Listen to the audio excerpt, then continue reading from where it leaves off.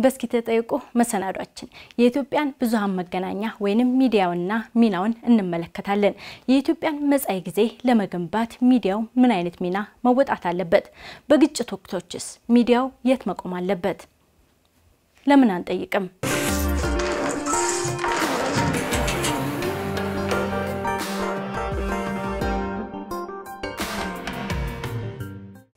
ጤና ይስጥልን። ካሳይ ዳምጤ ነኝ። ዘመናዊ የብዙኃን መገናኛ ዘርፍ በኢትዮጵያ ከአንድ ክፍለ ዘመን በላይ ተሻግሯል። በዚህ ውጣ ውረድና በእድገቶች መሀል ሆኖ ያሳለፈው የኢትዮጵያ የብዙኃን መገናኛ ዘርፍ አሁን ላይ የበይነ መረብ ሚዲያዎችን ጨምሮ የተለያዩ የብሮድካስትና የህትመት መገናኛዎች ባለቤት ነው። ሆኖም የሀብት ውስንነት፣ የሙያ ብቃትና የገለልተኝነት ጉዳይ አሁንም እግሩን አስረው እንደቀጠሉ ናቸው። በዚህ ደረጃ የኢትዮጵያ የብዙኃን መገናኛ ዘርፍ ለዲሞክራሲ ግንባታ ያበረከተው አስተዋጽኦ ምንድን ነው? ታዳሚውስ የሚፈልገውን ከብዙኃን መገናኛዎቹ እያገኘ ነው? ሚዲያውስ ተአማኒነት አለው? ምን አይነት ጉድለቶች አሉት? እንጠይቃለን። ዞሮ ዞሮ የአንድ ሚዲያ ተደራሽነት ለቤተሰብ ነው። እስኪ የአንድን ቤተሰብ የሚዲያ ልምድን ተከታትለን እንመለስ።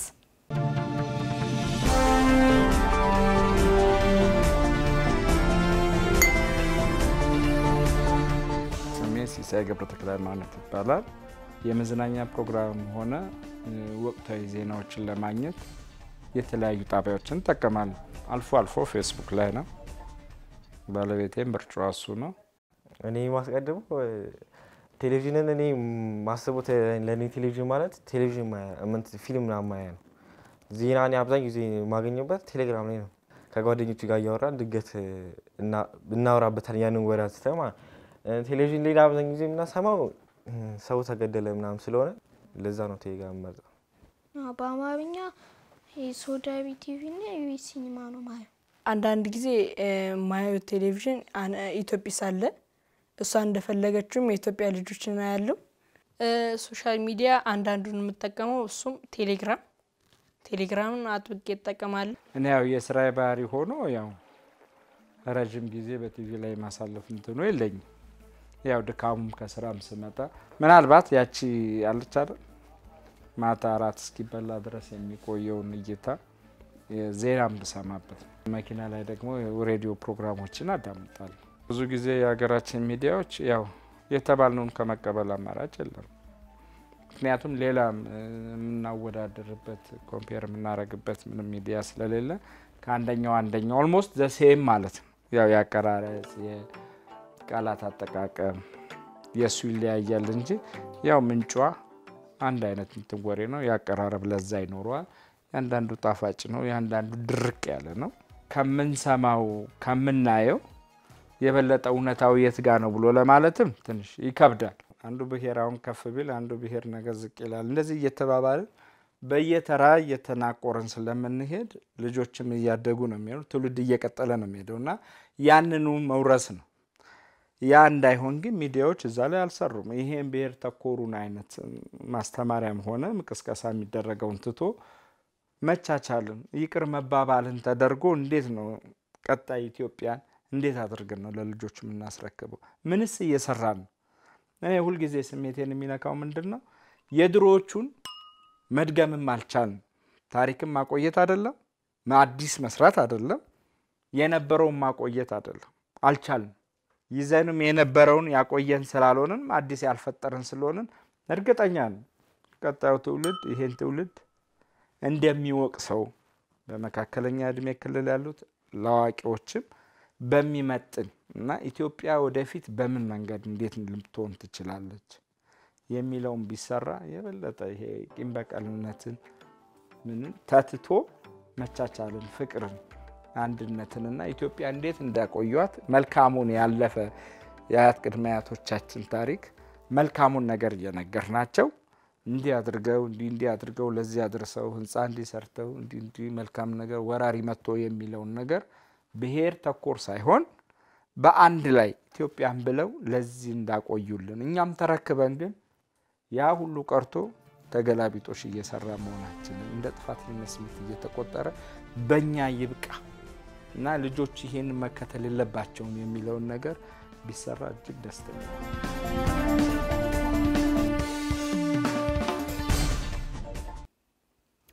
በዚህ ጉዳይ ላይ ለመወያየት እንደተለመደው ዛሬ ሁለት እንግዶች አሉኝ። ሰለሞን ጎሹ ጋዜጠኝነትና ሕግ አጥንቷል፣ እንዲሁም የተለያዩ ሚዲያዎች ሰርቷል። የሚዲያ ሕግ ላይ አተኩሮም ይሰራል።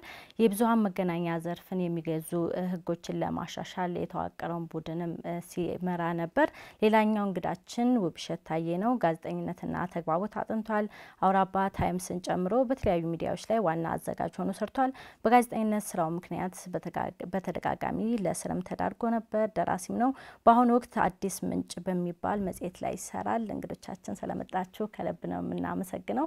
እንግዲህ እንደተመለከታችሁት የአቶ ሲሳይም ቤተሰብ ከልጆቹ ጀምሮ እስከ አቶ ሲሳይ ድረስ መረጃን እንዴትና በምን እንደሚያገኙ ነግረውናልና አሁን ባለው አሰራር ሚዲያው እንደዚህ የቤተሰብን ስብጥር ማዕከል ያደረገ አቅርቦቶች አሉት። እንዴት ትመለከቱታላችሁ? ከውብሸት ልጀምር። እንግዲህ ሁለት ነገሮችን ያስተዋልኩ ይመስለኛል። አንደኛ በተለይ ልጆቻችን teen በማደግ ላይ ታዳጊዎቹ እየተከታተሉ ያሉትን ሚዲያዎች ያው እንግዲህ በየቤታችን የሚያጋጥሙን ነገሮች አሉ። በተለይ እዚህ ማህበራዊ ሚዲያ ላይ ማተኮር ነገር እና ብዙ ጊዜያቸውን የሚመውሰድ ነገር አለ እና እሱ በደንብ ሊታሰብበት የሚገባ ነው። እንደተባለውም ይሄ ስብጥሩ በጣም አስቸጋሪ ነው። ልጆችን ታሳቢ ያደረገ በእነሱ አእምሮ የሆነ አይደለም። ሌሎች ሀገሮች ያው እንደምታውቁት የታደሉ ናቸው። ለምንድን ነው የእኛ ሚዲያ እንደዚያ ያልሆኑት? ብዙ ሚዲያዎች የሌሉ የሚለው ሌላ ጊዜ እንደው በስፋት የምናየው ጉዳይ ነው የሚሆነው። ሁለተኛው እንግዲህ እዛ ላይ ያለው አባት ሲናገር ያስተዋልኩት ነገር የሚቀርቡት ነገሮችስ ምን አይነት ነገር እሳቸው እንግዲህ ብሔር ምናምን ብለው ያሉት ነገር አለ። በተዛባ ሁኔታ ይሄ ብሔርተኝነት የሚገለጽባቸው ነገሮች ሰዎችን የሚስቡ ነገሮች ከመሆናቸው በተለይ በተለይ ያለፉት እነዚህ ያለፍንበት ጎዳና በተዛባ ሁኔታ እነዚህ ባህሎች፣ ታሪኮች፣ ሁሉ ነገሮች በጎ ነገሮች ናቸው፣ ጥሩ ነገሮች ናቸው። ግን ሚዲያው በዛ የመወሰድ ነገር በስፋት ስለተስተዋለበት ልጆችና ወላጆች ቁጭ ብሎ የሚመለከቷቸው አይነት ፕሮግራሞች ያለመኖራቸው ያሳስባል። በተለይ ልጆችን ስንል ቀደም ሲል እንደተባለው የኢትዮጵያ ልጆች ፕሮግራም አለ እንደዚህ ሬዲዮ ላይም ኤፍኤም ላይ የልጆቻችን ኢትዮጵያ የሚል ፕሮግራም አውቃለሁ። ይሄ ትልቅ ነገር ነው፣ ግን በጣም ተጎድቷል። ከዚህ የተነሳ ልጆች ቁጭ ብሎ የሚከታተሏቸው እነሱን የሚስብ ነገር ቀደም ሲል ቴሌግራም ላይ እንደተባለው የተለያዩ ነገሮች ይወጣሉ። ዩቲዩቦች ላይ ብዙ ነገሮች አሉ እና ለኢትዮጵያ ልጆች እንግዲህ ከባህላቸውም ካስተዳደጋቸውም ከብዙ ነገሮች ጋር በተገናዘበ ሁኔታ ለነሱ የሚመጥን ለነሱ ጥሩ የሆነ ነገር ማቅረብ የተቻለ አይመስለኝም። ብዙ ነገርም ይፈልጋል። ፋይናንስ ይፈልጋል፣ እውቀት ይፈልጋል፣ እነዚህ infrastructure ሩን ይፈልጋል። ያው ብዙ ነገሮች አሉ በዚህ ዙሪያ ላይ እና እንደው ግን ጠቅልላ አድርጎ ለመመለስ ያክል እንደው ስብጥሩ በጣም በጣም ክፍተት አለው በልጆች መካከል በወላጆችና በልጆች መካከል እንዲሁም ማህበረሰቡ ራሱ የሚገባው ምንድን ነው እንግዲህ መቶ ሀያ ሚሊዮን ሕዝብ ባለበት ሀገር ላይ ምን ያህል ሚዲያዎች ናቸው መኖር ያለባቸው የሚያቀርቧቸው አይተሞች ውስጥ ምን አይነት መሆን አለባቸው የሚለው ነገር በጣም ትልቅ ትልቅ የሆነ እንትን ያለው እንግዲህ ወደፊት እንግዲህ እያየናቸው የምንሄዳቸው ነው የሚሆኑት ማለት ነው። ጥሩ ሰለሞን፣ አቶ ሲሳይን እንደሰማኸው ለወደፊት ለነገ ልጆቻችን የምትሆን ኢትዮጵያን ለመገንባት የሚዲያውን ሚና እምብዛም እንደሆነ ጠቀስ አድርጓል። እኛ ደግሞ እንደ ሌሎች ጎረቤቶች ሀገሮች ባይሆንም ሚዲያዎች አሉን፣ ጥቂት አይባሉም። የህትመት ሚዲያ አለን፣ የብሮድካስት ሚዲያ አለን። አሁን ደግሞ ዲጂታል ሚዲያ ወይም አዲሱ ሚዲያ የሚባለውም በስፋት እየተሰራበት ያለ ነው እና በአጠቃላይ የሚዲያውን ሚና እንዴት ትመለከተዋለህ አንተ? ልክ ናቸው። እኛ እንደ መገናኛ ብዙኃን ነፃና ገለልተኛ ሲሆን ተጠያቂ የሚያደርገው ሁሉንም አካል ነው። የህዝብ ጥቅምን መሰረት አድርጎ ከመስራት ይልቅ ወይ በፖለቲካ አለበለዛ ደግሞ የተለያየ የጥቅም የነሱን አንዳንድ ጊዜ የመገናኛ ብዙኃኑ ህልውናን ጭምር በሚመለከተው በኦዲየንሱ ላይ የተመረኮዘ ሳይሆን የገንዘብ ድጎማና በፖለቲካ ጥቅማ ጥቅም የሚሰጥ ድጋፍን መሰረት ያደረጉ አካሄዶች ለረጅም ጊዜ ቆይተዋል። actually ከመንግስት ውጭም ያሉት መገናኛ ብዙኃን በተለይ ተጽዕኖ ፈጣሪነታቸው ከፍ ያሉት የብሮድካስት ጣቢያዎች ወደ ግለሰብ እጅ መግባት የጀመሩት ባለፉት ሶስትና አራት ዓመታት መሆኑ በራሱ ከዛ በፊት የመንግስት monopoly ሆኖ መቆየቱ መገናኛ ብዙኃኑ ከመንግስት ተጽዕኖ ውጪ እና ወይም ደግሞ ሌሎች የፖለቲካ ኃይሎች ተጽዕኖ ውጪ ለመውጣት አዳጋች ሆኖባቸዋል። በዛ ላይ የመንግስት መዋቅር ብሔርን ወይም ደግሞ ethnicity ን መሰረት አድርጎ የተዋቀረ የፌዴራል መዋቅር ጥቅሙ ጉዳቱ እንደ ማንኛውም ፍላጎት እንዳለው ቡድን መግለጽ እንችላለን። የእሱ ጥቅምና ጉዳት እንዳለ ሆኖ በአብዛኛው የድጋፍና የተጽዕኖዎቹ ምንጮችም ብሔርን መሰረት ያደረጉ እንጂ የሚዘገቡትን ፍላጎት አይደለም። በሌሎች ሀገሮች ላይ ከዚህ ነፃ ሆነው ራሳቸው በሚያመጡት ከማስታወቂያም ሆነ ከሌላ ተጽዕኖ ውጭ የሆኑ መገናኛ ብዙኃን ኦዲያንሱ ስለሆነ ያንን የሚከታተላቸው የእነሱ ደንበኛ ስለሆነ የገቢያቸውና የህልውናቸው ምንጭ ለሱ የሚመች ይዘትን የማስተካከልን ውሳኔ ነፃና ገለልተኛ ሆነ ያደርጉታል። ለህፃናት የሚመች ፕሮግራም በዛው መንገድ ያደርጋሉ። ለወጣቶች የሚመች ፕሮግራም እንዲሁም ከዛ ወጥተው የተለያየ የሙያ ፍላጎት የጋዜጠኝነት ሙያ አለኝ፣ የህግ ባለሙያ አለኝ፣ ለሱ የሚመች ይዘት ልታቀርቢ ትችላለሽ እና እንደተባለው አብዛኞቹ ተመሳሳይ ይዘቶችን ውስጥ የሚያመጡት ወደዛ ይሄ ኦዲያንሶቻቸውን ተከትለው የመስራት ፍላጎት የቢዝነስ ሞዴላቸው ራሱ እንደገና ግንዛቤ ውስጥ ይገባል። ቀድሞ ብሸት እንዳለው እሱን ስታደረጊ ነፃና ገለልተኛ የምትሆኝበት የገንዘብ ምንጭሽን ማሰብ መቻል አለብሽ። ከ audience ሽ ጋር ገቢን መሰረት ያደረገ interaction መፍጠር መቻል አለብሽ። ስለዚህ እሱን የ business model ባላስተካከልንበት ሁኔታ የማስታወቂያውን dynamics እየቀየረ ያለ የኦንላይን ሚዲያ መጣ። እሱ ላይ ነው የተጨመረው። እሱ ደግሞ ብዙ ገንዘብ ሳትከፊ በጥቂት ያን apparatus ይዘሽ access ታደርጊዋለሽ ይዘቱን። ስለዚህ ይሄኛው የመጣብን የኦንላይን ሚዲያ ወይም የበይነ መረብ ተጽዕኖ የመጣብን legacy media የምንላቸውን መገናኛ ብዙኃን ቴሌቪዥንን፣ ሬዲዮን፣ መጽሔትን፣ ጋዜጣን ከ audience ኡ ጋር አስተማማኝ በሆነ ነፃና ገለልተኛ ሆነ በራሳቸው የሚቆሙ በራሳቸው ሲቆሙ ራሳቸውንም ተጠያቂ ያደርጋሉ ከህዝብ ጥቅምና ፍላጎት አንጻር እንዲሁም ደግሞ መንግስትንም ሆነ ሌሎች ተቃዋሚ የፖለቲካ ፍላጎት ያላቸውን ኃይሎች ነፃና ገለልተኛ ሆነው ፍረጃ መስጠት ይችላሉ፣ መተንተን ይችላሉ። በአግባቡ በተለያየ አውድ ውስጥ እንድናያቸው ያደርጉ ነበር። አሁን ግን ከነዛ ኃይሎች ጋር ከህልውናቸውም ጋር ወይም ደግሞ ያልተገባ የጥቅም ግንኙነት የፈጠሩበት ሁኔታ በኢትዮጵያ ሚዲያ ኢንዱስትሪ በጣም የሚታይ ጉልህ ነገር ስለሆነ እሱ የምንፈልገውን ዳይቨርሲቲ እንዳናይና የነዚያ የፖለቲካ ኃይሎች መራኮቻ መድረክ እንዲሆኑ ትልቅ አስተዋጽኦ ያደርገ ይመስለኛል። ጥሩ የባለቤትነት ጉዳይን እናንሳና እንግዲህ የባለቤትነት ጉዳይ ለሚዲያው ቁመና ወሳኝ ሚና ያለው ነው። የኢትዮጵያ ሚዲያዎች የማን ናቸው? የህዝብ የምንለው ሚዲያ አለ? I think እሱ ህዝብን ስትቆሚለት የምትሰጪው ይዘት ምንድን ነው? አንቺ ያለሽ አወቃቀር መዋቅርሽ አጠቃላይ ለህዝብ ፍላጎትና ጥቅም የቆመ ነው ወይ በሚለው assess ይደረጋል። በእኛ ሁኔታ በትክክልም መገናኛ ብዙሃኑን እንደውም በእንግሊዝኛ public ይላቸዋል እንጂ በአማርኛ የመንግስት ሁሉ እያለ ያስቀምጣቸው ነበር በስተት ከዛ የሆነ ቦታ ላይ ደግሞ የህዝብና የመንግስት እያለ እየቀላቀለ ይኖራል። ባህሪያቸው ሲሰላ ባለፉት ሶስት ዓመታት ባለፉት ሶስት አስርት በአብዛኛው የህዝብ መገናኛ ብዙሃን ሳይሆን የመንግስት ልሳን ሆነው የሚሰሩ ተቃዋሚዎችና የተለየ ድምፅ ያላቸውን ሰዎች መስማትና ማየት በጣም ብርቅ ሆኖብን ነው ባለፉት ሶስት አስርት የቆየ ነው። አሁን አዲሱ አስተዳደር ከመጣ በኋላ መዋቅሩን በደንብ እንዲፈተሽ ከፖሊሲ ጀምሮ የህዝብ እንዲሆን አወቃቀራቸው ከዚህ ቀደም በፖለቲካ ጉምቱ የሆኑ ሰዎች ይመሩ የነበሩትን ከቦርድ አወቃቀር ጭምር የፖለቲካ ፓርቲ አባልነት ከዛ ውጭ እንዲሆን መንግስት ወስኖ በዛም ደረጃ መዋቅሮችን እየሰራ የሚወስናቸውም የተለያዩ ዝርዝር ማዕቀፎችም እሱን ለማረጋገጥ እየሞከሩ ነው። ምናልባት ይሄ የፖለቲካ መንገራቀጩ አሁን ካለንበት ወቅታዊ ሁኔታ አንጻር መልሰው የመንግስት የመሆን አዝማሚያ መገናኛ ብዙሃኑ እያሳዩ ነው እንጂ መጀመሪያ አስተዳደሩ ስልጣን ላይ እንደመጣ አካባቢ ያየ ነው። በትክክልም የህዝብ መገናኛ ብዙሃን ማለት ህዝብ የሚፈልጋቸውን ኢትዮጵያ የብዝሃነት ሀገር ናት። ያንን ብዝሃነት በአግባቡ የማሳየት ጅምሮች ነበሩ። አሁን ከቃል አልፎ በትክክል ተጠያቂነቱን የሚያመጣ የህግና የፖሊሲ ማዕቀፍ አውጥቷል። ጥሩ ውብሸትስ ምን ትላለህ? አንተ ሚዲያው ላይ እየሰራህ ያለ ባለሙያ ነህ እና ሚዲያዎች የማን ናቸው? የህዝብ የሚለውን define ቢደረግም መልካም ይመስለኛል። የህዝቡ ፍላጎቶች አሉ፣ የተለያዩ ፍላጎቶች አሉ። የሚዲያው እንግዲህ አንዱ ተልዕኮ የማህበረሰብ አስተሳሰብ የመቅረጽ የሚለው ጉዳይ አለና ምናልባት አሁን እነዚህን ጥያቄዎች እንዲነሱ ምክንያት የሆነው እንግዲህ ያለፍንበት መንገድ የሚያሳዩን ነገሮች አሉ። ሚዲያዎቹ ወዴት እየሄዱ ነው? የሚያስተላልፏቸው ነገሮች ምንድን ናቸው?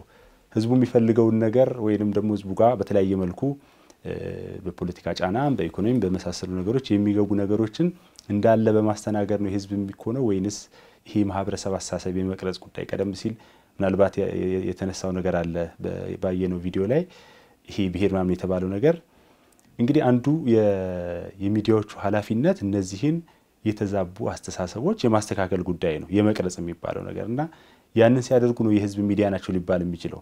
practically በህግ ደረጃ በተግባቦት ደረጃ የህዝብ ናቸው ልንል እንችላለን። ግን ወደ መሬት ወርደው ምኑ ጋር ነው ያሉት ቁመናቸው ሲባል በጣም ያው ምንም የምናመልጠው ነገር አይደለም። በአንድ መልኩ የመንግስት ጫና በጣም በስፋት አለ። ወደ እንትኑም ስንሄድ ወደ ግሉም አካባቢ ስንሄድ የዛ ነገሮች በጣም በስፋት ይታያሉ።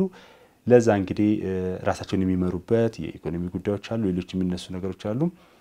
ያንን ተቋቁሞ ለመሄድ እንግዲህ target audience ኣቸው አለ። ያንን የማህበረሰብ ክፍል የማገልገል ጉዳዮች አሉና እነዚህ እነዚህ ነገሮች ስናጣጥማቸው ከዚህ ከዚህ ነው ሊወጣ የሚችለው ልናገኛቸው የምንችለው መጨረሻ ላይ እና የህዝብ የሚባለው ነገር ለማምጣት ነው ሊሰራ የሚገባው። ገና እሱ ጋር ደረስን ለማለት በጣም አስቸጋሪ ነው። ግን ሂደቶች አሉ፣ አንዳንድ መንገዶች አሉ፣ ገና የፖሊሲ ጉዳዮች አሉ፣ የህግ ጉዳዮች አሉ። እነዛ እነዛ ነገሮች እንግዲህ ምናልባት ሰለሞን በኋላ ላይ ያነሳቸዋል። ከዚህ ከአቃቢ ጠቅላይ አቃቢ ህግ ጉዳዮች ጋር በተያያዘ የሚወጡት ህጎች እነሱ ምናልባት ሊያክሙት ይችላሉ ብዬ አስባለሁ። የሚዲያው አካባቢ ያሉ ችግሮችን ለምንድን ነው ከዛ ወጥቶ የህዝቡ ያልሆነው? ዝም ብለን የህዝቡ ልንለው አንችልም። በቅርጽ ደረጃ እንትን ስላልና ከዚያ በኋላ ምናልባት ወደዚያ የመግባት ሁኔታዎች አሉ። ግን ምልክቶቹ አሉ። በተጨባጭ ግን የህዝብ ሆነው የህዝቡን ጥቅም መጠበቅ አለባቸው። ታሪካዊ ጉዳዮችን ይሄ አቅጣጫውን አገሪቷ ወዴት ነው መሄድ ያለባት፣ ምንድን ነው የሚጠቅማት፣ የማህበረሰቡ አስተሳሰቦች እንዴት ነው ሊበየኑ የሚገባቸው የሚሉትን ነገሮች define ማድረግ ካልተቻለ እንዲሁ የህዝብ የሚለው ምናልባት ትንሽ ሰፋ ያለ ነገር ይመስለኛል። መልካም በእስኪ ተጠየቁ መሰናዷችን የእናንተ የተመልካቾቻችን ጥያቄ በቀጥታ ወደ እንግዶቻችን ማድረስ የስራችን አካል ነው። ዛሬም እንደተለመደው የተመልካቾችን ጥያቄ አካተናል። ቀዳሚውና የመጀመሪያው ጥያቄያችን የሚዲያው ተአማኒነት ነው። ትዕግስት እባላለሁ። የአዲስ አበባ ከተማ ነዋሪ ነኝ። መረጃዎቹን እኔ ከቴሌቪዥንም ከሬዲዮም ከማህበራዊ ሚዲያዎችም አገኛለሁ። በተለይ ወቅታዊ ነገሮችን ወቅቱን ያማከለ ነገሮች መስማት ፈልጋለሁ፣ ማየት ፈልጋለሁ። የመንግስት ሚዲያዎች ላይ ብዙ ጊዜ መልካም ጎኑን ብቻ የማሳየት ነገር አለ። መሬት ላይ ወርዶ ያለውን እውነታውን ያለማሳየት ችግር አለ። የግል ቴሌቪዥንም ይሁን ሬዲዮዎች ላይ ደግሞ ምድር ላይ እየኖርን ያለውን እውነታዎችን የማንጸባረቅ ነገር አለ። ወቅታዊ ሁኔታዎችን አሁን ምን ተከስቷል፣ ሰው እንዴት እየኖረ ነው፣ ምን ችግር አለበት፣ እንደዚህ የሚለው ላይ ወርደው ሲሰሩ እናያለን። በእርግጥ ሁሌም ችግር ይወራ ችግር ማዳመጥ አለብን ማለቴ ሳይሆን አንዳንዴ የመንግስት ሚዲያዎች ላይ የምታያቸው ነገሮች ሁሉም ነገር በቃ በመልካም እየሄዱ እንደሆነ ታይሻ ኑሮ ውድነቱን በዩ ሌላ ሌላውን ነገር ያንን ነገር ስታይ የት ነው የምንኖረው? ስለ የትኛዋ ኢትዮጵያ ነው ወይ ስለ የትኛው ሀገር ነው የሚወራው ያስብልሻል። እንደውም አንዳንድ ቦታ የምሰማው ችግር ደርሶባቸው እንኳን ኑ ዘግቡልን ብለው የመንግስት ሚዲያዎችን ሲጠሩ እሺ የማይሉበት ሁኔታ አለ። የመንግስት ሚዲያዎች ላይ በአብዛኛው እምነት የለኝም። መልካም ትዕግስትን እንደሰማችኋት ጥሩ ምልከታ ነው ያጋራችን። የሚዲያውን ታማኝነት እንዲሁም መረጃዎችን ለህዝቡም ደርሶ የህዝቡን ችግር የመስማት ከመንግስት ብቻ የመንግስትን አጀንዳ የመንግስትን ስራዎች ብቻ የማድረስና የማጋራት ስራ ላይ እንደተወጠሩ ነው የጠቀሰችው እና ምን ትላለህ ውብሸት? ከአንተ ልጀምር። እጋራዋለሁ። በነገራችን ላይ የተዛቡ አስተሳሰቦች አሉ በተለይ መንግስት ሚዲያዎች አካባቢ እንደምታውቁት ለምሳሌ ልማታዊ ጋዜጠኝነት የሚባል ነገር ነበር። በተዛባ ሁኔታ ተተርጉሞ ምን ተመረቀ፣ መንገድ ተመረቀ፣ ድልድይ ተመረቀ አይነት ነገር ይመስላቸው ነበረ። ይሄ developmental journalism የሚባለው ነገር ግን ራሱን የቻለ ማዕቀፍ አለው። አንደኛ እንግዲህ ወደ ሚዲያው አካባቢ ሚዲያ ራሱን የቻለ ትልቅ ነገር ስለሆነ ሙያ ይፈልጋል። ባለሙያዎች ናቸው ሊሰሩት የሚገባው። ዝም ብሎ ከመንገድ ላይ ተመጥቶ የሚሰራበት ስራ አይደለም መሆን ያለበት። የራሱ ግብረ ስነ ምግባር አለው፣ ethics አለው፣ የሚመራበት ህግ አለው። እነዚህ እነዚህ ነገሮች apply ያለመደረጋቸው የፈጠረው ነገር አለ።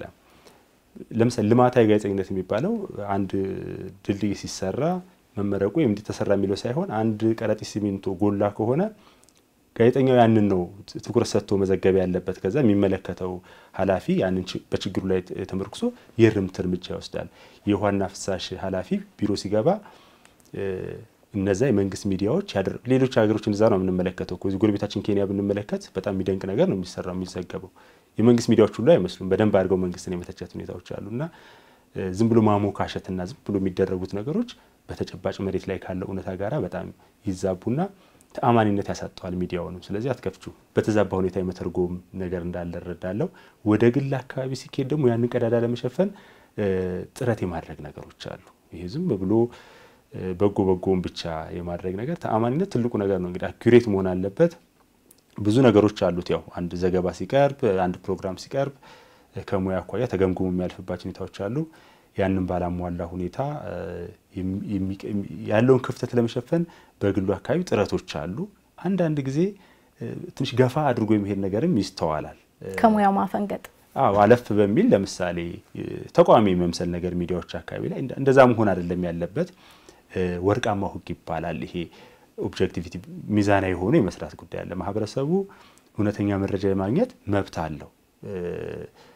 ልናዛባው አይገባም። ሊያገኝ የሚገባውን መረጃ በጣም በማጦዝ እና በዚህ other side ከመሄድ ይልቅ መሀል ላይ ሆኖ የማቅረቡ ነገር በጣም አስቸጋሪዎች ናቸው። ስለዚህ እነዚህም እንግዲህ ለምን ሆኑ ብለን ስንል የሚዲያዎቻችን ማለት ቀደም ሲል እንግዲህ ያነሳቸው ነገሮች አሉ፣ የተወሰኑ ሚዲያዎች አሉ ተብሏል። ግን በጣም ትንሽ ናቸው።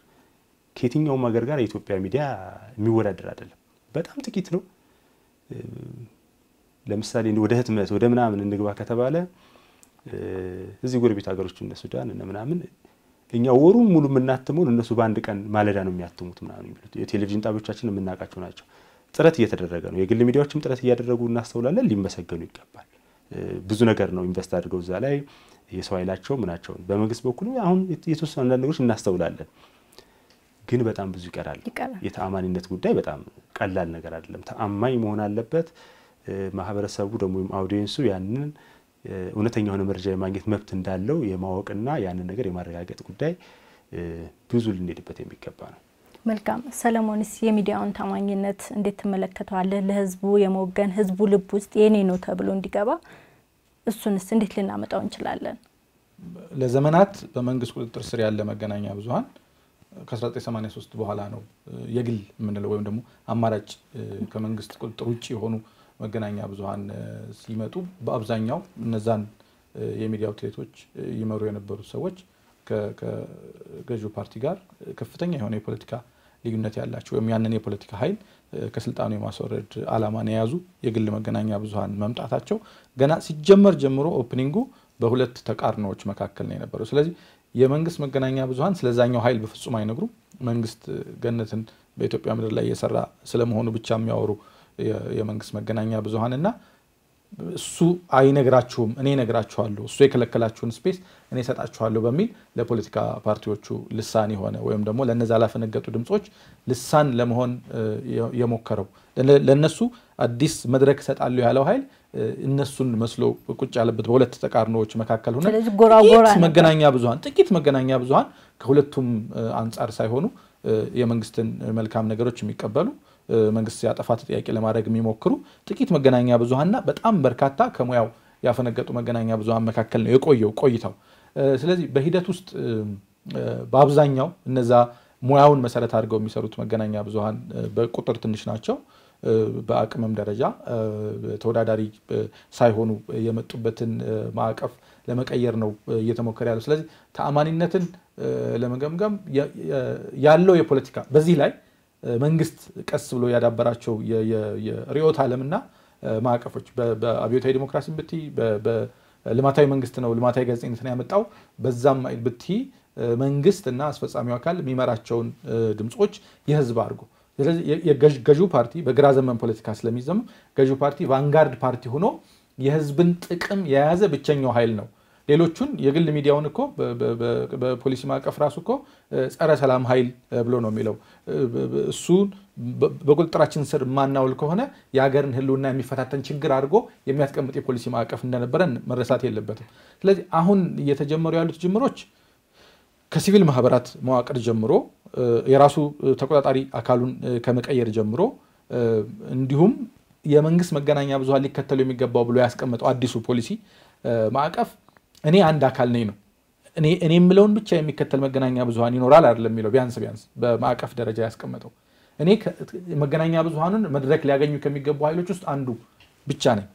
ከህዝቡ ጋር፣ ከተቃዋሚ ፓርቲዎች ጋር፣ ከሌሎች ኃይሎች ጋር አንድ ድምፅ የምኖር ኃይል ነኝ ስለሚል ተአማኒነቱን ለማግኘት የቆዩበት ነገር የቆዩበትን ነገር ከዛ እንግዲህ ምንድነው ለሶስት አስርት የቆዩበት ልምምድን ለመተው ትግል ላይ ባሉበት ወቅት ላይ ግጭት ተፈጠረ። ግጭት ሲፈጠር ጦርነትና መሰል ነገሮች ላይ መንግስትን መተቸት የመንግስትን ድክመት ማሳየት ለምሳሌ ያህል አሁን ባለንበት ወቅታዊ ሁኔታ ላይ የመንግስትን ሳይሆን የሀገርን ህልውና የሚፈታተኑ የውጭ አካላት ጣልቃ ገብነት ምናምን በሚባልበት ጊዜ መንግስትን መተቸት ማለት አገሬን ጥቅም፣ ፍላጎት አሳልፌ መስጠት ነው ከሚል አንጻር አሁን በቅርብ ያየነው አዝማሚያ መንግስት እንዳይነካ ከመንግስት ውጭ ያለውን ሁሉ ለሁሉም ለሀገሪቱ ችግር ለሁሉም ቀውሱ ለኢኮኖሚውም ለምኑም ለምኑም የአሻጥረኞች የሌሎች ኃይሎች ምናምን ነገር የሚል አዝማሚያ መጣ እንጂ የነበረው አዝማሚያ ግን መንግስት አንድ ክላያንት ነው። የነዛ መገናኛ ብዙሀን እሱን ቢያደርግ ኖሮ ለዛ ነው በነገራችን ላይ ኢትዮጵያ ቴሌቪዥን እንደ ቴሌቪዥን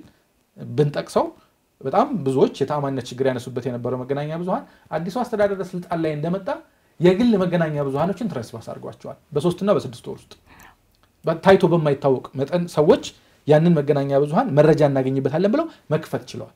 አይደለ? ከዛ በፊት ግን ድሽ የሌላችሁ እንደምን አመሻችሁ? ይላል እየተባለ የሚቀለድበትን ጣቢያ በዛ ደረጃ ከመጣ ስራ ነው የሚያመጣው። ተአማኒነትን የሚያመጣው አንቺ ስትሰሪ። መንግስትን ተችተሽ የመንግስትን ልዩ ነገር አስቀምጠሽ ብትተነትኙ።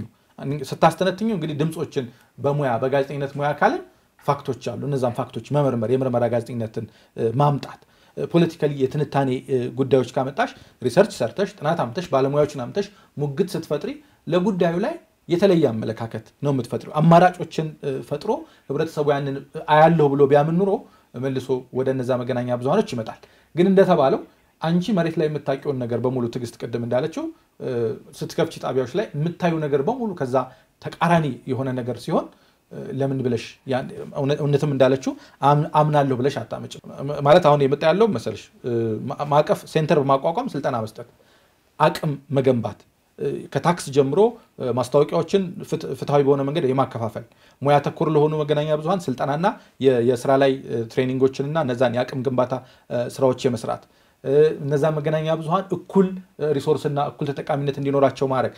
የተጀመሩት ጅምሮች እኔ ወደ ትክክለኛ ቅድም እንዳለው በሌሎች በጎረቤት ሀገሮች በምናውቃቸው እንደ ሞዴል በምንወስዳቸው በጋና፣ በደቡብ አፍሪካ፣ በኬንያ እየተደረጉ ያሉትን ነገሮች ለማድረግ commitment ኡን አሳይቶ ነበር። ስለዚህ አንድ እርምጃ ተራምደናል ማለት ነው። ተራምደናል፣ ግን ይሄ የመጣው ነገር መልሶ ወደ ወደኋላ ይመስልን። ጥሩ። ሌላም ጥያቄ አለን። እስራኤል ወልዴ እባላለሁ። የሆነ ፖለቲካ ነገርም ሆኖ ማለት አሰልቺ ነገርም ሆኖ ከመዝናኛ ጋር ቀላቅለው ነው የሚያቀርቡት። መዝናኛም አለው የሆነ አንቺ እንዳይሰለችሽ አድርገው ነው የሚያቀርቡት። even ዜናውንም እንደዛ ስለሚያቀርቡት ቲቪዎችን አያለው። በአንዳንድ ፌስቡክ ምናምን እከታተላለሁ፣ ከ YouTube ም እከታተላለሁ። ቋንቋው ቢበዛ ጥሩ ነው፣ ክፋት የለውም።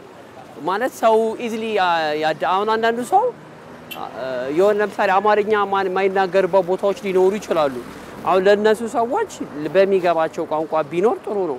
ቢበዛ advantage አለው እንጂ disadvantage የለውም።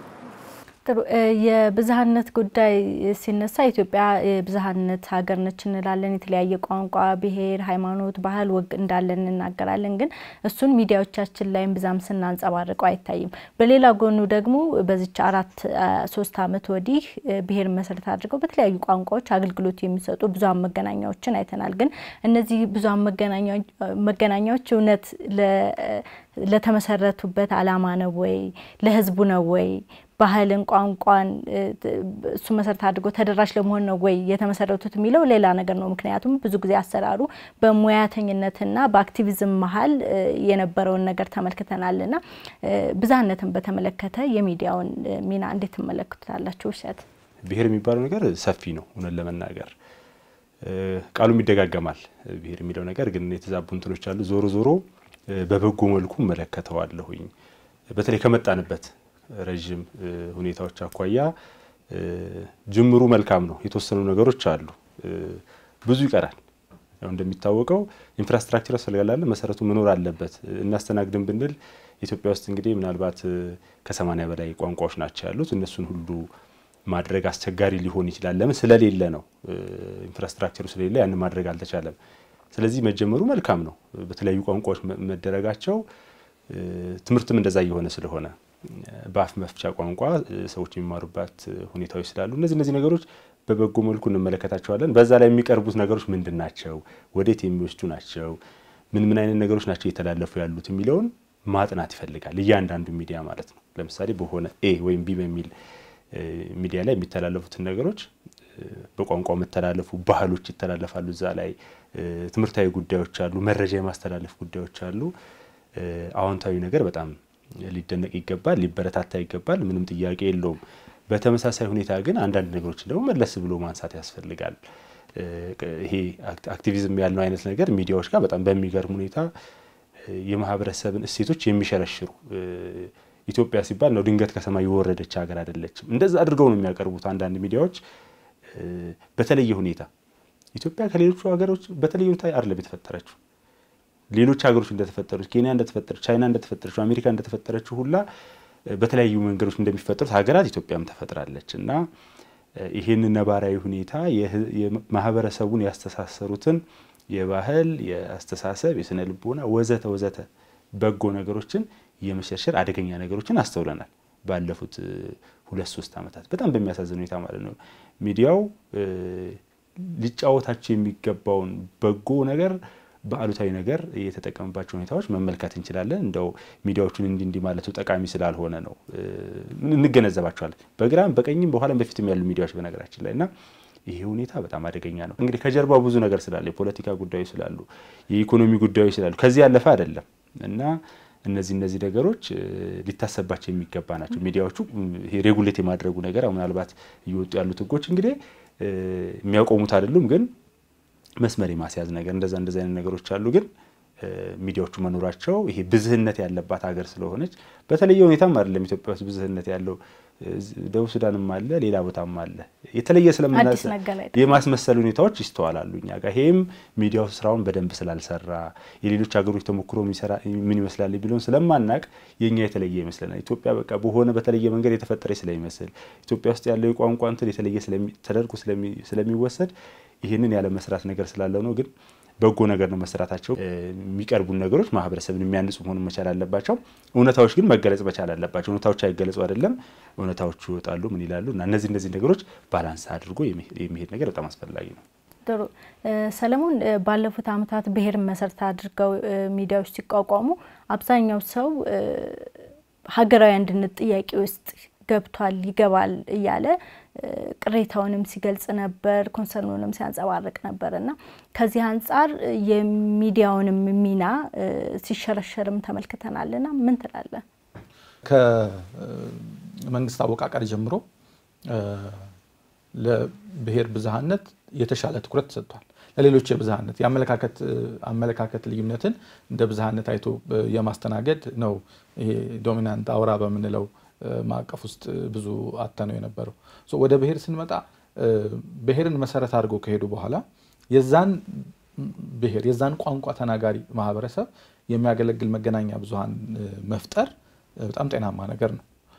ከዛ ወጥቶ በብሔሮች መካከል ጤናማ ያልሆነ ግንኙነት ሲኖር ያንን ግንኙነት ለማጎን በተለያየ መንገድ የተፈጠሩት ነገሮች ማሻሻያ የሚፈልጉ ጉዳዮች ናቸው። በነገራችን ላይ በማዕቀፍ ደረጃ ለምሳሌ የመገናኛ ብዙሃን ባለስልጣን ነው ፍቃድ የሚሰጣቸው።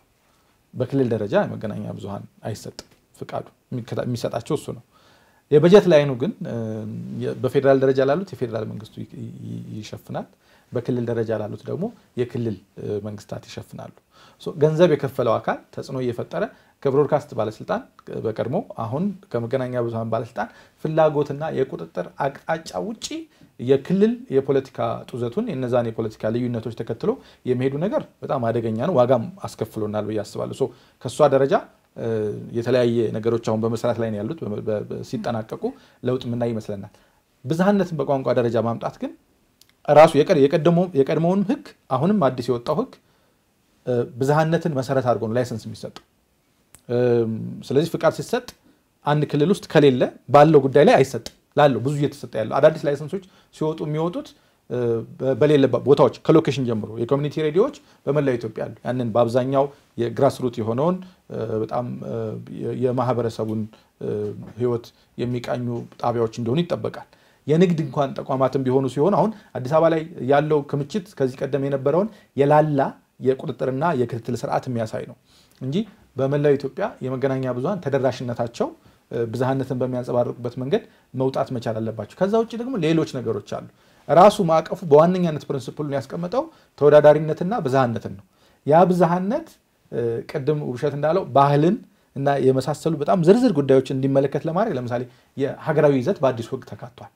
ሀገራዊ ይዘት መኖር መቻል አለበት እንጂ ስለዚህ አንድ ጣቢያ ሲመጣ ሲቋቋም ራሱን እንደ ክልላዊ ካለ የክልሉን የሚመለከት ምን ያህል percent ይዘት ሊኖረው ይገባል፣ ዓለም አቀፍ ጉዳዮች እንዴት ሊይዘት ይችላል፣ ሀገራዊ ጉዳዮች እንዴት ሊይዘት ይችላል የሚለው ቁጥጥሩ ውጤታማ ስላልነበረ ነው እንጂ በቀደመውም ነበር። አሁን ግን ለተለያዩ ተቋማት ተቀምጧል። community ከሆነ ሰላሳ አርባ እያለ ያስቀምጣል። ከዛ ውጭ ደግሞ ማን independent የሆነ ለምሳሌ ያህል ጣቢያው የራሱ ሰራተኞች ነው አሻም ከጣቢያው ውጭ ያሉ independent ነፃና ገለልተኛ የሆኑ ይዘት አምራቾች ምን ያህል percent ሊፈቀድላቸው ይገባል? ከሚቀበለው ይዘት ውስጥ ሀገራዊ ይዘት ማለት ኢትዮጵያዊ የሆኑ ሙዚቃም በይ መዝናኛው በይ ይዘቱ ሁሉ ሙሉ በሙሉ ያንን license ሲወሰድ ፍቃድ ሲወስድ አገለግላለሁ ያለውን ማህበረሰብ የሚመለከት ይህን ያህል percent መያዝ መቻል አለበት ነው። የ monitoring ቁጥጥሩ ጠንካራ ሲሆን አሁን በጣም ራሱን የቻለ ጠንካራ department እየገነባ ነው ያለው ኢማ። የኢማ ቁጥጥር ሲመጣ እሱን ካደረገ license ሽ መታደስ አይችልም። ቅጣቶች አሉት የራሱ አስተዳደራዊ ቅጣቶች አሉት። በህግም እስከ license ሽን revoke እስከማድረግ ድረስ ላብሱ ሊሄድ ይችላል። ከህግና ከፖሊሲ አንጻር ብዝሃነትን ባንጸባረቀና ገዢ ዋነኛ መርህ አድርጎ ነው የተቀረጸው። መልካም። ቀጣዩ ጥያቄያችንም ከይዘት ጋር የሚገናኝ ነው። እኔ አቶ ሰለሞን ደምሴ ይባላለሁ። መረጃ እንግዲህ በኢትዮጵያ ቴሌቪዥን ብዙ ጊዜ እከታተላለሁ። መረጃዎች direct ጥሩ አገኛለሁ። አንዳንድ ሚዲያዎች ዛሬ የተደረገውን ነገር ይደብቁታል። ነገ ያለው የዛሬ 15 ቀን የታየውን ይደግሙታል። ዋጋ የለውም። የዕለታዊን እየዘገቡ እየዘገቡ ማቅረብ ግልጽ አድርጎ የሚያወጣ እውነታውን እንደ ሰዓት አውጥቶ የሚያወጣ ሚዲያ ቢዘጋጅ ለህብረተሰቡ ይጠቅማል፣ ለሀገሪቷም ይጠቅማል ብዬ አስባለሁ። መልካም እንግዲህ ለዚህ ጥያቄ ደግሞ አጠር አድርጋችሁ እስኪ ሀሳባችሁን አጋርን። ከሰለሞን ጀምር። አሁን ቅድም ከተባለው ከተአማኒነት ጋር የሚገናኝ ነው። ይሄኛው መረጃ በተመለከተ ማን ይነግረኛል? አሁን በእኛ ጋር ትልቁ በጣም በብዙዎች ዘንድ በልባቸው ውስጥ ያለው ነገር የመንግስት ደካማ ጎን፣ ለምሳሌ አሁን በኮንፍሊክቱ መንግስት ቢሸነፍ ወይም ጉዳት ቢደርስበት በግጭቱ የመንግስት መገናኛ ብዙኃን አይነግረኝም። ስለዚህ ሌላ መገናኛ ብዙኃን ጋር ልፈልግ። ያንን በተመለከተ የመንግስት victory ከሆነ ደግሞ ሌሎቹ አይነግሩንም። ራሱ ስለሚነግረኝ እዚህ ጋር በደንብ ሊየው የሚል ነገር ይመጣል እና በጣም balanced በሆነ በተመዛዘነና ሚዛናዊና ገለልተኛ ሙያን መሰረት ያደረገ የህዝብ ጥቅምን መሰረት ያደረገ ይዘት ከሆነ ባለቤትነቱ በማን ቁጥጥር አለ ያ መገናኛ ብዙኃን የሚለው የምናገኘውን የመረጃ ልዩነት ሊኖረው አይገባም። የ tone ልዩነት ይኖራል። ሲኤንኤን ከፍተሽ ከዛ ፎክስ ኒውስ ስትከፍቺ ያለው ልዩነት በመገናኛ ብዙኃን መካከል ሊኖር ይችላል። መሰረታዊ የሆነውን እውነታ በተመለከተ ግን በተለያየ መንገድ አይነግሩሽም። በኢትዮጵያ ውስጥ ግን ያለው እሱ ባለቤትነቱ በራሱ dictate የሚያደርገው even to the extent of region ማለት ነው።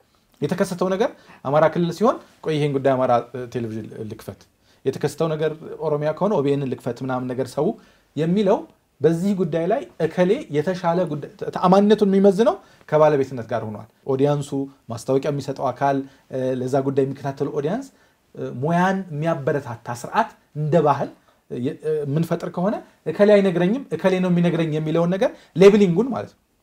ፖለቲካ ላይ የለመድነው labeling መገናኛ ብዙኃንን አብረን ከዛ የፖለቲካ ልዩነቶቻችን ጋር የምንለጥፈውን ነገር አቁመን ሁሉንም ሚዛናዊ በሆነ መንገድ ይሄኛው ጣቢያ የተሻለ ባለሙያ ነው፣ የተሻለ አቅም አለው። ወይም ደግሞ አቅም ስትዳብሪ አሻም አፋር ጫፍ ድረስ መሄድ ይችላል፣ አቅም አለው፣ capacity አለው። አይ የእከሌ አቅም በቃ ከአዳማ አያሳልፈውም የምንለው አይነት ነገር ልዩነቱ ሙያን መሰረት ያደረገ አቅምን መሰረት ያደረገ እንዲሆን መስራት ያለብን ይመስለኛል። ጥሩ ውብሸትስ ይዘትን ከምን ጋር ታያይዘዋለን? እዚህ አስተያየት የሰጡት ሰው ትልቅ ነገር ነው ያነሱት። አንዳንድ ጊዜ ቋንጣ ይሆናሉ። ክስተቱ የተከስተው ከ15 ቀን በኋላ ማየት የለብሽም። ግን ክስተቶች የሉም ወይ? ማህበረሰቡ በጣም ብዙ ነገሮች አሉበት እንደምታውቁት፣ ማህበራዊ ጉዳዮቹ፣ የመልካም አስተዳደር ጉዳዮች፣ እንዲህ political issue ዎቹ በጣም ብዙ ናቸው። ተሸፍነውም የሚያልቁ አይደሉም። ግን የዚህ የ capacity ጉዳይ ያልነው ቅድም እንግዲህ የአቅም ጉዳይ ይወስናል። ብዙዎቹ አቅም ያላቸው አይመስለኝም። ብዙዎቹ ሚዲያዎች እንደምታውቁት በኪራይ ነው አይደለ?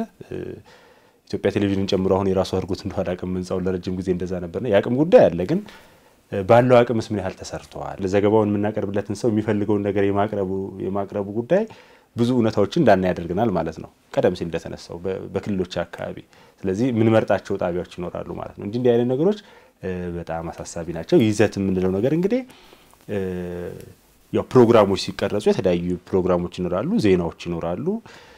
ወቅታዊ መሆን መቻል አለባቸው። እውነተኛ መሆን መቻል አለባቸው። በደንብ በግራና በቀኝ የታዩ መሆን መቻል አለባቸው። ይህንን ሁላ ነገር ለማቅረብ የሙያ አቅም ያስፈልጋል። እንዲሁም ደግሞ ተቋማዊ አቅም ያስፈልጋል።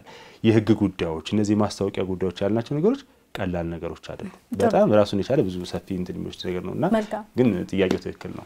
እንግዲህ የሚዲያ ሚና ጎልቶ ከሚታይባቸው ጊዜያት መካከል አንድ አሁኑ እንዳለንበት የቀውስ ወቅት ነው። በእንደዚህ አይነት ወቅቶች የሚዲያው ሚና ምን መሆን አለበት? አብሮ ተያይዞ ደግሞ የብሔራዊ ጥቅም ጉዳይም ተደጋግሞ ይነሳልና የሚዲያ ሚና ከብሔራዊ ጥቅም ጎን ለጎን እንዴት አብሮ ሊሄድ ይችላል? ውብሸት የመጀመሪያው ሚዲያዎች እንዴት ነው የሚሰሩት? በማንኛውም ወቅት እንግዲህ ሶስት ነገሮች አሉ ተብሎ ነው አንደኛው የህግ ጉዳይ ነው። በህግ ማዕቀፍ ውስጥ ነው ሚዲያ የሚሰራው። ሌላው የግብረ ገብ የሙያውን ስነ ምግባር ጠብቆ የመስራት ጉዳይ አለ። ሌላው የማህበረሰብ ሞራል የሚባለው ነገር አለ እና እነዚህን ሶስት ነገሮች ታሳቢ አድርጎ ነው የሚሰራው። so ጦርነት በሚከሰትበት ወቅት conflict በማህበረሰቦች መካከል አንዳንድ ጊዜ ግጭቶች ይከሰታሉ እና እነዚህ አይነት ነገሮች እንዴት ነው የሚሰሩት? እንዴት ነው መዘገብ ያለባቸው? ለምን ብዙሃኑ በዚያ ወቅት ማዳመጥ ይፈልጋል የሆነውን ነገርና እዛ ላይ ጥንቃቄ ይፈልጋል። በደንብ መስራት እኒህ ሶስት ነገሮች ታሳቢ አድርጎ የመስራት ነገር ያስፈልጋል። ህዝቡን ማወቅ መቻል ያስፈልጋል እና ምናልባት አንዱ ክፍተት ያ ነው። ህዝቡን ያለማወቅ ጉዳይ በጣም በጣም ችግር አለ። ይሄ ነው። ሌላው እንግዲህ የብሔራዊ አጀንዳ ጉዳይ ወይም ይሄ ብሔራዊ ጥቅም የምንለው ነገር ብዙም ጊዜ ሲነሳ ይስተዋላል እና ሌሎች ሀገሮች እንግዲህ define ያደርጋሉ። ይሄ ኮድ አላቸው የመግባቢያ ሰነድ ነገር አላቸው። ምንድን ነው እሷ? ለምሳሌ ብሔራዊ አጀንዳ ሲባል የመከላከያ ሚስጥር ነው ይባላል። even ባጀቱ ራሱ አንድ ወቅት ፓርላማ ላይ ሲነሳ እንደ የገዛሁትን ታንክ ላስገመግብ ነው ምናምን የሚባል ነገር አለ እና የብሔራዊ አጀንዳ ነገር ብሔራዊ ሚስጥር ያደርጉታል ያን እና define መደረግ መቻል አለበት። የሀገር ሚስጥር ስንል ምንድን ነው እሱ? ብሔራዊ ጥቅማችን ምንድን ነው እሱ? እዚህ ሀገር ውስጥ አሁን የተነሳ ነገር አለ እንግዲህ በሰሜኑ አካባቢ የተነሱ ነገሮች አሉና እነዚህ ነገሮች ብሔራዊ ጥቅም ስንል በዚህ ወቅት ምንድን ነው እያልን ያለ ነው? ከውጭው ጋር ያለን ግንኙነት ነው ወይንስ ግጭቱ በተከሰተበት አካባቢ ስላለው ነገር ነው የሚለውን ነገር define እየተደረገ የታሰበ ነው መሄድ ያለበት ለማለት ነው። እንዲሁ በደፈናው ጠቅለል አድርጌ ለመግለጽ ያክል ነው። ምክንያቱም ብሔራዊ አጀንዳ ወይም ብሔራዊ ጥቅም የሚባለው ነገር በጣም ሰፊ ነው። ኢኮኖሚ ብሔራዊ ጥቅም አለ። የባህል ጉዳዮች እንደዛ አላቸው።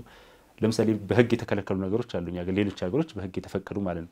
ብሔራዊ ጥቅማችን ስለሚጎዳ ነው። ብሔራዊ ጥቅም ከሞራል ጋር የተያያዘ ሊሆን ይችላል። ከኢኮኖሚ ጉዳዮቻችን ጋር የተያያዘ ሊሆን ይችላል። ከፖለቲካችን ጋር የተያያዘ ሊሆን ይችላል እና እነዚህ ነገሮች በግልጽ clearly define ባልተደረጉበት ሁኔታ ብሔራዊ ጥቅም የሚባለው ነገር በጣም ሰፊ ነው። ግን ዞሮ ዞሮ የምናውቃቸው ነገሮች አሉ። ብሔራዊ ጥቅማችን ብለን የምንለው የህልውና ጉዳይ፣ የድንበር ጉዳይ ሊሆን ይችላል። የሀገር ክብር ጉዳይ ሊሆን ይችላል።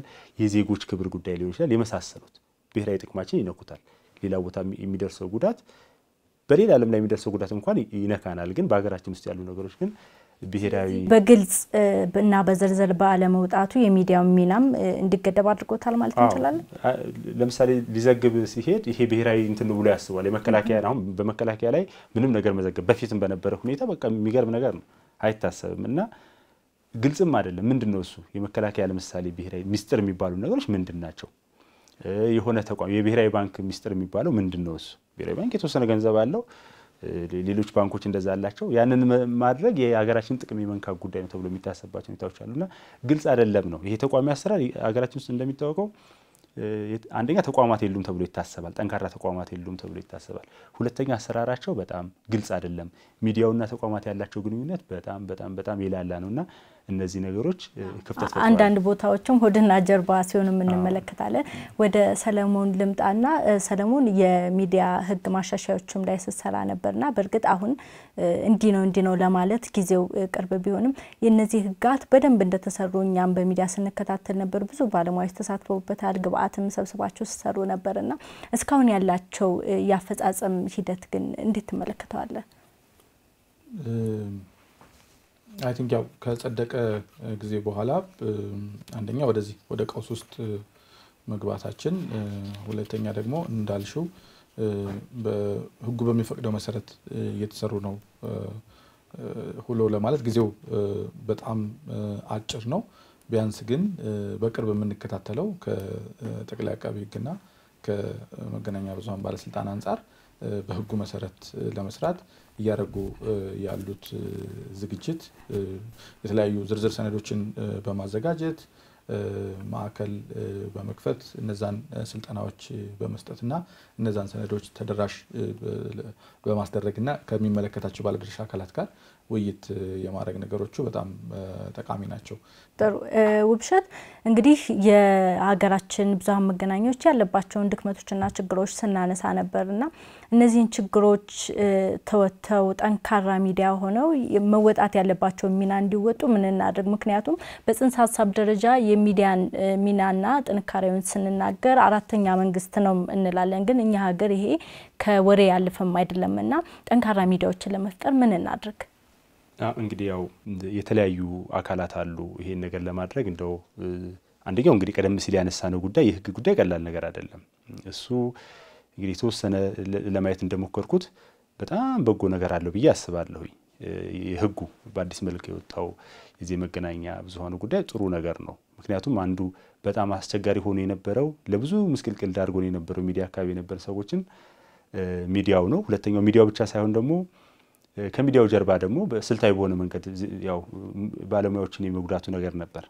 ህጉን መጥቀስ ሳያስፈልግ ማለት ነው እና ህጉን ማውጣት ብቻ ሳይሆን በፖሊሲ ደረጃ ሚዲያው መታገዝ አለበት ተብሎ ቀደም ሲል ይሄ ሚዛናዊ የሆነ ይሄ ማስታወቂያ ክፍል ምናምን የምንላቸው ነገሮች በደንብ ተግባራዊ መሆን መቻል አለባቸው። እንደ ቅንጦት ነገር መታየት የለበትም። ሚዲያ ልክ እንደ ሽቶ እንደ ተሽከርካሪ ምናምን ነው የሚታየው። የወረቀት ዋጋ 30 ሚሊዮን ተማሪዎች ባሉበት ሀገር የወረቀት ዋጋ ምን ያህል እንደሆነ መጽሐፍ ማሳተም ምን ማለት እንደሆነ ያው የሚዲያ ስለሆነ ነው አንድ ላይ ያሉ ነገሮች ስለሆኑ እና እነዚህ እነዚህ ነገሮች በመንግስት በኩል ያሉት ነገሮች በህግም በአግባቡ መደንገግ አለበት። አፈጻጸሙ ላይ ደግሞ ተግባራዊ መሆን መቻል አለበት። ሌላው እንግዲህ ሙያውን የማዳበር ጉዳይ ነው። ሙያው አካባቢ ያለውን ያው በተለያየ መልኩ ይሄ የ capacity building ን ጨምሮ ሌሎች እንትኖችን የማድረግ ለዛ ደግሞ infrastructure ኦችን የማመቻቸቱና የማስፋፋቱ ነገር በጣም ወሳኝ ነው። አንድ ዛሬ ያልጀመርነውን ነገር ነገ ልናገኘው አንችልም። መቶ ሃያ ሚሊዮን ህዝብ ላለበት ሀገር ብዙ ሚዲያዎች ያስፈልጋሉ፣ professionals ያስፈልጋሉ። ከፈት ከፈት ማለት አለበት። ምንም የተተወ ዘርፍ ቢኖር ሚዲያው ይመስለኛል። ብዙ ችግሮች አሉ፣ ግን ሚዲያው ላይ የነበረው ጫና ነው። ከጫናውም ስንወጣ ያን ያህል ሚዲያውን የማገዝ ነገር የለም። መንግስት ላይ ብቻ ሳይሆን ጫና ጥያቄዎቹ ያሉት ተቋማት ለምሳሌ የንግድ ተቋማት ስፖንሰር የማድረግ ነገር ብዙ የተለመደ አይደለም። እኛ ሀገር አያደርጉም። ያለ ማስታወቂያ ያለ promotion ምናምን ሚዲያዎች ሊሰሩ አይችሉም። በየትኛውም ሀገር እዚህ ሀገር አይደረግም። እንደዛ ሄደች ብታናገራቸውም ስጋት አለባቸው እና የመጣንባቸው ነገሮች አሁን ላለው ሁኔታ ችግር ፈጥረዋል። ግን ከዚህ ለመውጣት ደግሞ ቀደም ሲል እንደተባለው ከህግ ጀምሮ ከዚህ ተቋማት ጀምሮ ተቋማትን build የማድረግን ጨምሮ ሙያውን የማሳደግን ጨምሮ እነዚህ እነዚህ ነገሮች እንደው በጋራ ሲመጡ የሆነ በጎ ነገር ያሳዩናል ብዬ ተስፋ አደርጋለሁ። ሰለሞን፣ እንደዚህ ያልናቸውን ችግሮች የቀረፉ ጠንካራ ሚዲያዎች እንዲፈጠሩ በህግ ማዕቀፉ በኩል ምን አይነት ተስፋዎች አሉ? የመንግስትስ ቁርጠኝነት ምን ይመስላል?